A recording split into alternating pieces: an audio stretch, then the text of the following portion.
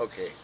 Yo, this the infamous BucWild from Star and BucWild, and you're rocking with New Jersey on Top magazine. You heard? Check it out. Wipe me down. Check it out. Check it out. Let's go. You still following me, Shorty? I gave you a job, goddammit. Get away from me, goddamn paparazzis, man. Come on.